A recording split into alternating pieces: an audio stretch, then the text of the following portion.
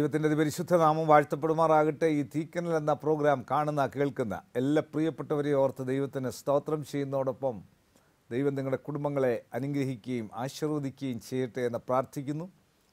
Brother doctor Mathews Varghese അവറുകളുടെയും അദ്ദേഹത്തോടൊപ്പം പ്രവർത്തിക്കുന്ന വേർഡ് ടു വേർഡ് ചാനൽ ലോകമെമ്പാടും ക്രൈസ്തവ സഭയ്ക്ക് ഊന്നൽ നൽകിക്കൊണ്ട് വേദപുസ്തകം ലോകമെമ്പാടും എത്തിക്കുന്നതിനുള്ള തീവ്ര പരിശ്രമത്തിലായിരിക്കുമ്പോൾ അതിന്റെ ഭാഗമായി തീരുവാൻ ബലഹീനനാവുന്ന എനിക്കും സാധിക്കുന്നതോർത്ത് ദൈവത്തിന് സ്തോത്രം ചെയ്യുകയും ഇതിന്റെ പിന്നിൽ പ്രവർത്തിക്കുന്ന എല്ലാ പ്രിയപ്പെട്ടവരെയും ഓടുള്ള നന്ദി അറിയിക്കുകയും ചെയ്യുന്നു. ഇത് നിങ്ങൾക്ക് അനുഗ്രഹമായി തീരട്ടെ. പുസ്തല പ്രവൃത്തികൾ ഒൻപതാം അധ്യായത്തിന്റെ ആറാം വാക്യത്തിൽ നമ്മൾ കാണുന്നു. വിശുദ്ധ പൗലോസിനോട് പറയുന്ന നീ എഴുന്നേറ്റ് പട്ടണത്തിൽ ചെല്ലുക. നീ ചെയ്യേണ്ടുന്നത് അവിടെ വെച്ച് നിന്നോട് പറയും എന്ന് അവർ പറഞ്ഞു. അവൻ മൂന്ന് ദിവസം കണ്ണു കാണാതെയും തിന്നുകയോ കുടിക്കുകയോ ചെയ്യാതെയും ഇരുന്നു അവിടെ വിശുദ്ധ പൗലോസ് സഭയെ ഉപദ്രവിച്ചതുകൊണ്ട് അടിച്ച് താഴെ വീണു. നീ ആരാകുന്നു കർത്താവേ? എന്ന് ചോദിച്ചതിന് നീ ഉപദ്രവിക്കുന്ന യേശു എന്ന് മറുപടി പറഞ്ഞപ്പോൾ അവിടെ കൊടുക്കുന്ന കർത്താവ് കൊടുക്കുന്ന ഒരു വലിയ ആഹ്വാനത്തിൽ നീ എഴുന്നേറ്റ് പട്ടണത്തിൽ ചെന്ന് നീ ചെയ്യേണ്ടെന്ന് അവിടെ വെച്ച് ഞാൻ നിന്നോട് പറഞ്ഞു തരും. അവൻ മൂന്ന് ദിവസം കണ്ണു കാണാതെയും തിന്നുകയോ കുടിക്കുകയോ ചെയ്യാതെയും ഇരുന്നു. ജീവിതത്തിൽ പലപ്പോഴും ദൈവത്തെ ഉപദ്രവിക്കുമ്പോൾ മൂന്ന് ദിവസത്തെ ഈ അനുഭവം നമ്മൾക്കുണ്ടാകുന്നത്. നമ്മളെ ഒന്ന് ശുദ്ധീകരിക്കുവാനാണെന്ന് ഓർത്തോണം. ഇവിടെ മൂന്ന് ദിവസം കണ്ണു കാണാതെയും ഭക്ഷണം കഴിക്കാതെ ഇരിക്കുന്ന പൗലൂസിനെ കാണും ജീവിതത്തിലൊരു അനുഗ്രഹം ഉണ്ടാകുവാൻ ചിലപ്പോൾ ഒരു ഇരുട്ടുണ്ടാകും. ഓർത്തുകൊള്ളണം. ജീവിതത്തിൽ എന്നും ഇരുട്ടായിരിക്കുകയില്ല. എല്ലാ ദിവസവും ഇരുട്ടായിരിക്കുകയില്ല. ഒരനുഗ്രഹം അതിന്റെ മുൻപിലുണ്ട് എന്ന് ഓർത്തോണം. ആ ഒരു പക്ഷെങ്കിൽ ആ ഇരുട്ടത്ത് കണ്ണ് കാണാതെ ഇരുന്ന പൗലൂസ് വലിയ മിടുക്കനായിരുന്നു തകർപ്പന ആളായിരുന്നു പലരെയും ഉദ്ദേശിക്കുന്ന കാര്യം സാധിപ്പിക്കുന്ന സകല ഗുണ്ടായുസവും കാണിച്ച ആളായിരുന്നു പൗലൂസ്. പഴയ ആളായിരുന്നപ്പോൾ ശൗലായിരുന്നപ്പോൾ. പക്ഷേ ഒറ്റയടിക്ക് ദൈവം അടിച്ചവിടെ ഇരുത്തി കളഞ്ഞു. ഞാനും നിങ്ങളും ദൈവത്തെയും ദൈവസഭയെ ഉപദ്രവിച്ചാൽ ദൈവത്തിന് വിരോധമായി പ്രവർത്തിച്ചാൽ ദൈവവിരോധികളായി തീർന്നാൽ ദൈവത്തിന്റെ ശക്തിയിൽ അറിയാമായിരുന്നിട്ട്. അറിയാൻ വയ്യാതെ ഉപദ്രവിച്ചാലൊന്നും സംഭവിക്കുകയില്ല. ദൈവം ക്ഷമിക്കും. അറിവില്ലായ്മയെന്ന്. അറിഞ്ഞുകൊണ്ട് മനഃപൂർവമുള്ള ഉപദ്രവങ്ങൾ ആർക്കെതിരെ ചെയ്താലും അത് വലിയ പാപമാണ്. അത് ദൈവം പൊറുക്കുന്നതല്ല. അവിടെ കൊടുക്കുന്നത് ഒരു രോഗശാന്തി ശുശ്രൂഷ പത്താം വാക്യത്തിൽ. അപ്പസ്വല പ്രവൃത്തികൾ ഒൻപതാം അധ്യായത്തിന്റെ പത്താം വാക്യത്തിൽ എന്നാൽ അനന്യാസ് എന്നൊരു ശിഷ്യൻ ദമസ്കോസിലുണ്ടായിരുന്നു അവനെ കർത്താവ് ഒരു ദർശനത്തിൽ അനന്യാസെ എന്ന് വിളിച്ചു. കർത്താവെ അടിയനിത എന്ന് അവൻ വിളി കേട്ടു. കർത്താവ് അവനോട് നീ എഴുന്നേറ്റ നേർവീതി എന്ന തെരുവിൽ ചെന്ന് യൂ യൂതയുടെ വീട്ടിൽ തർസോസുകാരനായ ഷൗൽ എന്നെ അന്വേഷിക്കുക അവൻ പ്രാർത്ഥിക്കുന്നു. അനന്യാസ് എന്നൊരു പുരുഷൻ അകത്ത് വന്ന് താൻ കാഴ്ച പ്രാപിക്കേണ്ടതിന് തന്റെ മേൽ കൈവയ്ക്കുന്നത് അവൻ കണ്ടിരിക്കുന്നു എന്ന് കൽപ്പിച്ചു. നിന്റെ വിശുദ്ധന്മാർക്ക് എത്ര ദോഷം ചെയ്തുവെന്ന് പലരും പറഞ്ഞ് ഞാൻ കേൾക്കുന്നു. അവന് മഹാപുരോഹിതന്മാരുടെ അധികാരപത്രമുണ്ട് എന്ന് ഉത്തരം പറഞ്ഞു. കർത്താവ് അവനോട് നീ പോക. അവൻ എന്റെ നാമം ജാതികൾക്കും രാജാക്കന്മാർക്കും ഇസ്രയേൽ മക്കൾക്കും മുമ്പിൽ വഹിപ്പാൻ ഞാൻ തിരഞ്ഞെടുത്തിരിക്കുന്ന ഒരു പാത്രമാകുന്നു. പതിനാറാം വാക്യത്തിൽ എന്റെ നാമത്തിനു വേണ്ടി അവൻ എന്തെല്ലാം കഷ്ടം അനുഭവിക്കേണ്ടതാകുന്നു എന്ന് ഞാൻ അവനെ കാണിക്കും എന്ന് പറഞ്ഞു. ഇവിടെ അനന്യാസ് എന്നൊരു ഉപദേശിയെ രോഗശാന്തി ശുശ്രൂഷയ്ക്കായിട്ട് കർത്താവ് ഉപയോഗിക്കുക. ഈ അനന്യാസിനെ പറ്റി വേദപുസ്തകത്തിലേക്കും പിന്നെ പറയുന്നില്ല. പക്ഷെ ഒരൊറ്റ ആളിന്റെ ശുശ്രൂഷ ഒരു വലിയ സമൂഹത്തിന്റെ വിശുദ്ധ പൗലോസ് മുഖേന ഇന്ന് ലോകമെമ്പാടും എത്രയോ പേരാണ് അപ്പസ്തല പ്രവൃത്തികൾ വായിച്ചു വരുമ്പോൾ ക്രൈസ്തവ സഭയുടെ അനുയായികളായി തീർന്നിരുന്നത് ആ ഒരാളെ രൂപാന്തരപ്പെടുത്തുവാനാണ് അനന്യാസ് എന്നൊരാളിനോട് പറയുക. കർത്താവ് സംസാരിക്കുക. അനന്യാസെ നീ നേർവീതിയിൽ ചെല്ലുക. യൂതയുടെ വീട്ടിൽ ഒരുത്തൻ കണ്ണ് കാണാതിരിപ്പുണ്ട്. അവനെ കൈവച്ച് ഒരുത്തൻ സൗഖ്യമാക്കും എന്ന് അവൻ ദർശനത്തിൽ കണ്ടിരിക്കുകയാണ്. നീ അങ്ങോട്ട് ചെല്ലുക. ദൈവം പറയുന്നത് പറയുന്നത് പോലെ ചെയ്യേണ്ടാൻ ഞാനും നിങ്ങളും ബാധ്യസ്ഥരാണ്. ദൈവശബ്ദം കേൾക്കുന്നവർക്ക് ദൈവം സംസാരിക്കും. ദൈവം വളരെ വ്യക്തമായി സംസാരിക്കും ദൈവം നമ്മളോട്. എന്നോട് നിങ്ങളോട് ദൈവം സംസാരിക്കും. നമ്മളോട് ദൈവം സംസാരിക്കുമ്പോൾ അത് ദൈവമാണ് സംസാരിക്കുന്നത് എന്ന് മനസ്സിലാക്കാൻ നമ്മൾക്കൊരു ഹൃദയമുണ്ടായിരിക്കണം. ആ ഹൃദയമുണ്ടായിരിക്കുമ്പോൾ നമ്മളെ ഇരുട്ടിൽ എന്ന് വിടുന്ന ഒരു ദൈവമല്ല. മൂന്ന് ദിവസം കണ്ണ് കാണാതെയും വെളിച്ചം കാണാതെയും ഭക്ഷണം കഴിക്കാതെ ഇരുന്ന വിശുദ്ധ പൗലൂസ് ശൗലിന് ദൈവം അതിനൊരു പ്രതിവിധി ഉണ്ടാകുന്നു. നീ ഇരുട്ടിലും അന്ധകാരത്തിലുമാണെങ്കിൽ നിന്റെ ജീവിതത്തിന് ഒരു പ്രതിവിധി ഉണ്ടാകും. നിന്നെപ്പറ്റി ദൈവം ഉദ്ദേശിക്കുന്നത് സാധിപ്പിച്ചെടുക്കുക തന്നെ ചെയ്യും. ദൈവം അതിനുള്ള വഴികളും വാതിലുകളും തുറക്കും. നീ അതിന് റെഡിയായിരിക്കണം എന്ന് മാത്രം. ഇവിടെ അത് സാധ്യമായി തീർന്ന ഒരനുഭവമാണ്. പതിനേഴാം വാക്യത്തിൽ അങ്ങനെ അനന്യാസ് ആ വീട്ടിൽ ചെന്നു. അവന്റെ മേൽ കൈവച്ചു ശൗലേ സഹോദര നീ കാഴ്ച പ്രാപിച്ച് പരിശുദ്ധാത്മ പൂർണനാകേണ്ടതിന് നീ വന്ന വഴിയിൽ നിനക്ക് പ്രത്യക്ഷനായ യേശു എന്ന കർത്താവ് എന്നെ അയച്ചിരിക്കുന്നു എന്ന് പറഞ്ഞു. കാരണം ഇവനെപ്പറ്റി അനന്യാസ് പറഞ്ഞപ്പോൾ ആ ശുശ്രൂഷ ഏറ്റെടുത്ത് ചെയ്യുകയാണ്. ദൈവം പലപ്പോഴും പല ശുശ്രൂഷകളും വ്യക്തിപരമായി എന്നോട് സംസാരിക്കുമ്പോൾ ഞാനത് ഏറ്റെടുത്ത് ചെയ്യുവാൻ ശ്രമിക്കുമ്പോൾ പ്രതിസന്ധികളും പ്രതികൂലങ്ങളും ഉണ്ടാകുമ്പോൾ ചിലപ്പോൾ അതിൽ അമാന്തം കാണിച്ചെങ്കിൽ നോ അത് ചെയ്തെടുക്കണം. ദൈവം തന്നിരിക്കുന്ന സാഹചര്യങ്ങളിൽ അത് ചെയ്തെടുക്കുവാൻ ദൈവം ആഹ്വാനം ചെയ്യുകയാണ്. ഇതുപോലെ ഇന്ന് ദൈവമക്കൾക്കൊരു വെളിപ്പാട് കിട്ടിയാൽ ദൈവം സംസാരിച്ചാൽ കാരണം ദൈവം അനന്യാസിനോട് പറയുന്ന ഭാഗമുണ്ട്. അവൻ ജാതികളോട് സുവിശേഷം പറയേണ്ടവനാണ്. അനേക വൻപന്മാരുടെ മുൻപിൽ അവനെ നിർത്തേണ്ടവനാണ്. കാരണം അവൻ ക്വാളിഫൈഡ് ആണ് റോമ പൗരനാണ് സാക്ഷാൽ ഇസ്രായേലിയനാണ്. ഇവനുള്ള എല്ലാ അവന്റെ സാഹചര്യങ്ങളെല്ലാം അവനുണ്ട്. അവനെയാണ് എനിക്ക് ആവശ്യം യേശു കർത്താവിന് എല്ലാവരെയും ആവശ്യം എല്ലാ തരത്തിലുള്ളവരെ യേശുവിന് ആവശ്യമാണ്. എന്റെയും നിങ്ങളുടെയും ഏതെല്ലാം കഴിവുകളാണ് കർത്താവ് നോക്കുന്നത്. ഇവിടെ ശൗലിനെ സംബന്ധിച്ചിടത്തോളം അവൻ സഭയെ എത്രമാത്രം ഉപദ്രവിച്ചോ അപ്പോൾ അവനെ പിടിച്ച് രൂപാന്തരപ്പെടുത്തിയെടുത്താൽ ഏതുപദ്രവവും അവൻ സഹിക്കുവാൻ തയ്യാറാവും. വിശുദ്ധ പൗലോസിനെ അന്ന് ഈർച്ചവാളാൽ കൊല്ലപ്പെടുമ്പോൾ വിശുദ്ധ പൗലോസിന്റെ തലവെട്ടി മാറ്റിയപ്പോൾ കൊന്ന ആ പടയാളി പോലും യേശുവിനെ അറിഞ്ഞു യേശുവിനെ വിശ്വസിച്ചു യേശുവിന്റെ പിന്നാലെ പോന്നു. നമ്മൾ ഏത് കാര്യത്തിലാണ് ഒരുവൻ ആത്മാർത്ഥതയുണ്ടെന്നറിഞ്ഞാൽ അവനെ ആ കാര്യത്തിന് വിളിക്കും. ഞാനെപ്പോഴും വിശുദ്ധ പത്രോസിന്റെ കാര്യം പറയാറുണ്ട്. പത്രോസ് തന്റെ ജോലിയിൽ സമർത്ഥനായിരുന്നു. അതുകൊണ്ടാണ് യേശു പത്രോസിനോട് പറഞ്ഞ് നീ ഇനിയും മനുഷ്യനെ പിടിക്കുന്നവനാക്കും. നീ മീൻ പിടിക്കുന്നവനല്ല മനുഷ്യനെ പിടിക്കുന്നവൻ. അപ്പം വേറെ അവൻ പിന്നെ മീൻ പിടിക്കാൻ പോയി. ഒന്നും കിട്ടിയില്ല. ഒരു ചെറിയ ഒരു ചെറിയ കുഞ്ഞു മീൻ പോലും കിട്ടിയില്ല. കർത്താവില്ലാതെ ഒന്നും നടക്കുകയില്ല. കർത്താവ് പറഞ്ഞെടുത്ത് വല വീശിയപ്പോൾ സകല മീനും ഔട്ട് ചെന്നു. എന്നെ നിങ്ങളെ നയിക്കുന്ന ഒരു കർത്താവുണ്ട്. അതോർത്തോ? നമ്മളെ നയിക്കുന്ന കർത്താവുണ്ട്. അപ്പോൾ കർത്താവ് പറയുന്നത് പോലെ ചെയ്യുവാനായിട്ട് സാധിക്കണം. കർത്താവ് നമ്മളോട് പറയുമ്പോൾ ആ കാര്യം ചെയ്തെടുക്കുവാൻ നമ്മൾ അതിന് ഇനിഷ്യേറ്റീവ് എടുക്കുമ്പോൾ ദൈവം തമ്പുരാൻ അതിന് വഴികളെ തുറന്നു തരും. അത്ഭുത വഴികളെ തുറന്ന് എന്നെയും നിങ്ങളെയും വഴി നടത്തും. മറ്റ് ഡെക്കറേഷൻസ് ഒന്നും പോകരുത്. മറ്റ് വേറെ കാര്യങ്ങൾക്കൊന്നും പോകരുത്. നമ്മളുടെ ബുദ്ധിയും യുക്തിയും ഒക്കെ അതിനകത്ത് ചേരും. അതുകൊണ്ടേ നല്ലതാണ് ഇതുകൊണ്ടേ നല്ലതാണ്. ഒന്നും വേണ്ട. വെറും പച്ചയായ മനുഷ്യനായി അങ്ങ് പോയാൽ മതി. ദൈവം അത് നടത്തി.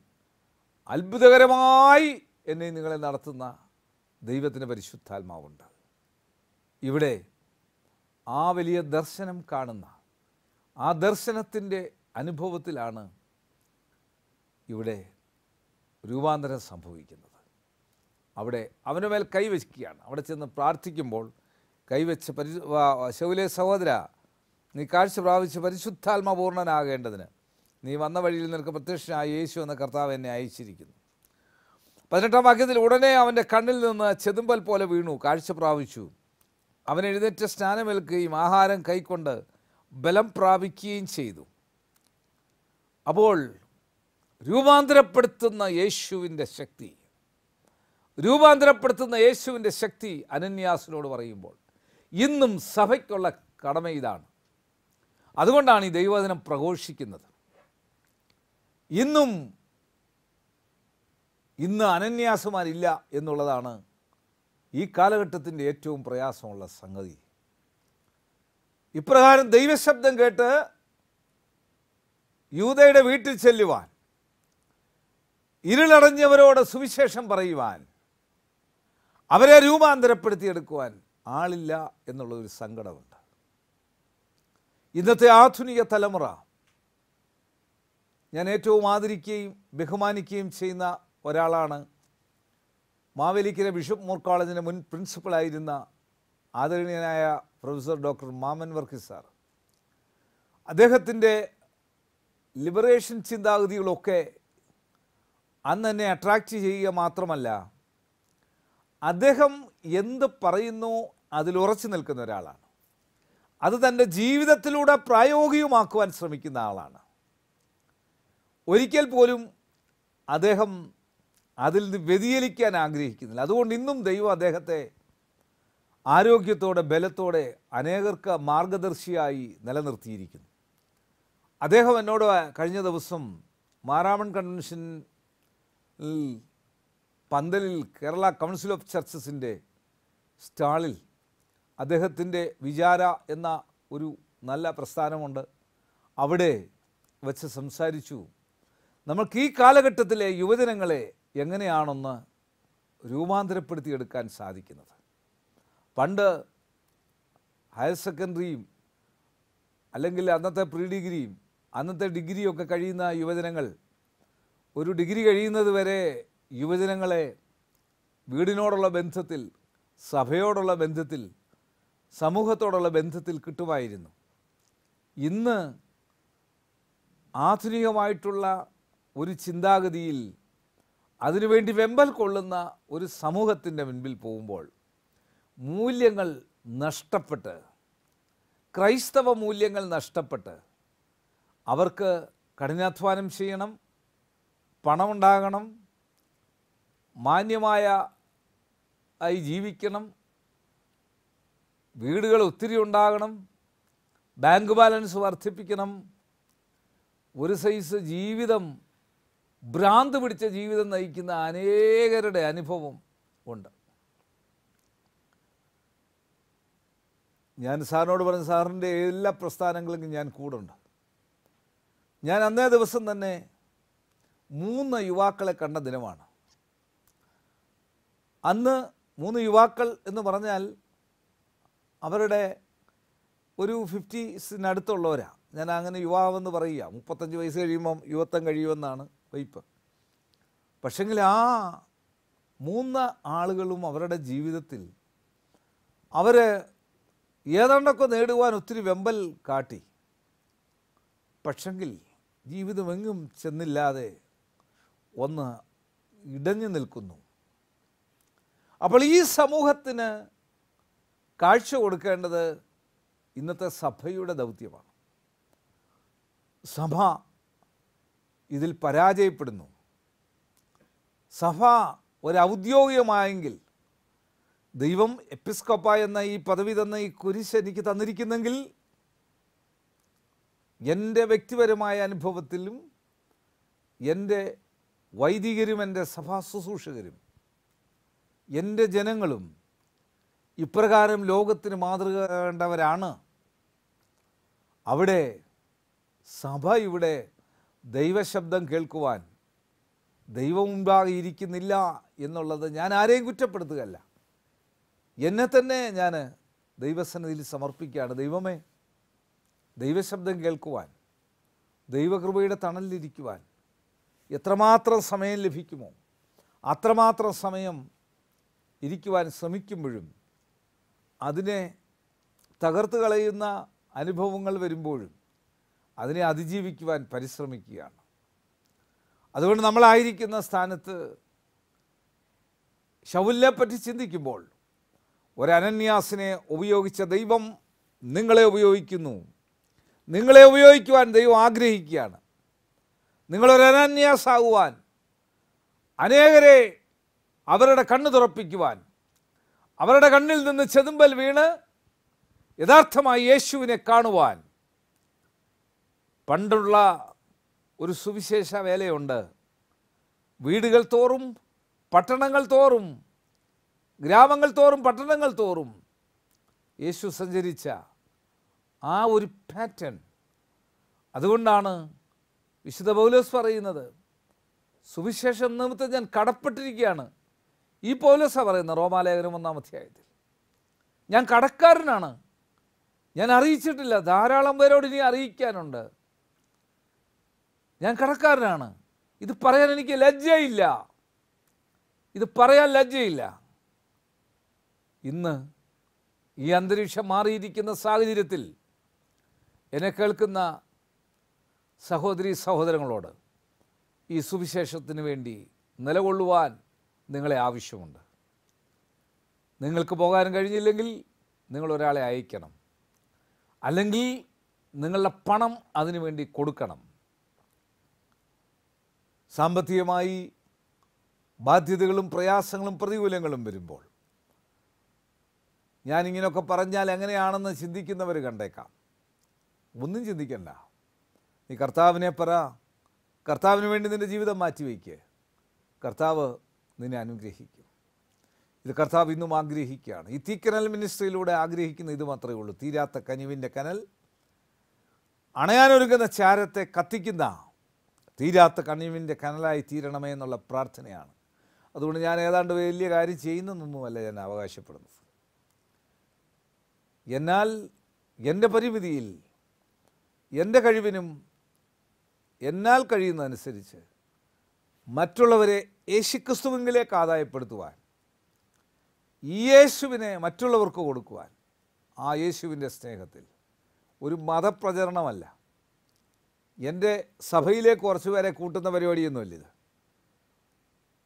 ഇന്ത്യയിലെ ഏറ്റവും വലിയ പ്രൊട്ടസ്റ്റന്റ് സഭയാണ് സി എസ് ഐ സഭ. ഈ സഭയിലെ കുറേ ആളുകളെ കൂട്ടാനല്ല. യേശുവിനെ കൊടുക്കുക. യേശു ഒരുവനിൽ വന്നാൽ അവൻ ജീവിതത്തിൽ ഏതിനെയും ഫേസ് ചെയ്യും. എന്റെ കർത്താവ് എന്റെ ജീവിതത്തിൽ വന്നപ്പോഴാണ് ജീവിതത്തിൽ ഏതിനെയും ഫേസ് ചെയ്യുവാനുള്ള ഒരു പ്രത്യേകമായ ബലം എനിക്ക് കിട്ടിയത്. ഒരു ശക്തി എനിക്ക് കിട്ടിയത്. ആ യേശു എന്നിൽ നിന്ന് മാറി നിന്നാൽ ഞാൻ നിസ്സഹായനായി പോവും. ഞാൻ ശൂന്യനായി പോവും. എന്നാൽ എന്നോടൊപ്പം കർത്താവുള്ളപ്പോൾ അതുകൊണ്ട് ആ കർത്താവ് എന്നോടൊപ്പം സഞ്ചരിക്കുമ്പോൾ കർത്താവിന്റെ കരത്തിന് പിടിച്ചിരിക്കുമ്പോൾ ഞാൻ ആ കർത്താവ് എന്നോടൊപ്പം സഞ്ചരിക്കുന്നുവെന്ന് പൂർണമായി വിശ്വസിച്ച് മുൻപോട്ട് പോകുമ്പോൾ ആ ഒരു പ്രത്യേക ബലമുണ്ട്. അതുകൊണ്ട് നിങ്ങളെ ഈ കർത്താവിന്റെ വിലയ്ക്ക് വേണ്ടി ആവശ്യമുണ്ട്. ഈ കർത്താവിന്റെ വിലയ്ക്ക് സഹായിക്കുവാൻ ആവശ്യമുണ്ട്. ആർക്ക് സാധിക്കുമെന്ന്? ഏത് ജോലിയിൽ ആർക്ക് ആത്മാർത്ഥത ഇരിക്കുന്നു? കർത്താവിന് ജോലി മാത്രം പോട്ട് അല്ലാത്ത ഒരു ജോലിയാണെങ്കിൽ എത്രമാത്രം ആത്മാർത്ഥമായിട്ടാണ് ജോലി ചെയ്യുന്നത്? നമ്മളെ ഏൽപ്പിച്ചിരിക്കുന്ന ജോലിയിൽ ഓഫീസ് ടൈം പത്ത് മണിയാണെങ്കിൽ രാവിലെ പത്ത് മണി മുതൽ അഞ്ച് മണി വരെ ആണെങ്കിൽ പത്ത് മണിക്കെത്തി അഞ്ച് മണിക്ക് പോകുന്ന ജോലിക്കാരുണ്ട്. ഒൻപത് മണിക്ക് എത്തി ജോലി മുഴുവൻ തീർത്ത് രാത്രിയിൽ പോകുന്ന ഗവൺമെന്റ് ജോലിക്കാരെ എനിക്കറിയാം. എന്നാൽ ഇതൊന്നും ശ്രദ്ധിക്കാതെ വളരെ കെയർലെസ്സായി ജോലി ചെയ്യുന്നവരെയും അറിയാം. അതുകൊണ്ട് കുന്നുകൂടുന്നതായിട്ടുള്ള ഫയലുകൾ പെറുസാധുക്കളുടെയും പാവങ്ങളുടെയും അവരുടെ കാര്യങ്ങൾ മറച്ചു വച്ചാൽ ലഭിച്ചിരിക്കുന്ന ദൗത്യം അവരവരെ ഏൽപ്പിച്ചിരിക്കുന്ന ജോലിയിൽ വിശ്വസ്തരല്ലെങ്കിൽ അവിശ്വസ്തത കാണിക്കുന്നെങ്കിൽ അത് ഈ വചനത്തിലൂടെ നമ്മൾക്ക് രൂപാന്തരം ഉണ്ടാകണം ഞാൻ ഈ വചനം പറയുമ്പോൾ വ്യക്തിപരമായി എന്നിൽ തന്നെ നോക്കി. എന്റെ ദൗത്യങ്ങളും കടപ്പാടുകളും ഞാൻ ചെയ്യുവാൻ ബാധ്യസ്ഥനാണ്. ദൈവവചനത്തിന്റെ പ്രസക്തി അവിടെയാണ്. ഒൻപതാം അധ്യായത്തിന്റെ ഇരുപത്തിരണ്ടാം വാക്യത്തിൽ ശൗലോ മേൽക്കുമേൽ ശക്തി പ്രാപിച്ച് യേശു തന്നെ ക്രിസ്തു എന്ന് തെളിയിച്ച് ദമസ്കോസിൽ പാർക്കുന്ന യഹൂദന്മാരെ മിണ്ടാതാക്കി. അവനൊരു ശിഷ്യനെന്ന് വിശ്വസിക്കാതെ എല്ലാവരും അവനെ പേടിച്ചു. അങ്ങനെ യഹൂദിയ ഗലീല ശമരിയ എന്നീ ദേശങ്ങളിൽ ഒക്കെയും സഭയ്ക്ക് സമാധാനം ഉണ്ടായി. ഇവിടെ സഭയ്ക്ക് സമാധാനം ഉണ്ടാക്കുന്ന വിശുദ്ധ പൗലോസിന്റെ ശൗലിന്റെ രൂപാന്തരം പൗലോസായപ്പോൾ മേൽക്കുമേൽ ശക്തി പ്രാപിക്കുകയാണ്. ഈ വചനത്തിലൂടെ രൂപാന്തരം പ്രാപിക്കുമ്പോൾ നിങ്ങളിലൊരു ശക്തിയുണ്ട്.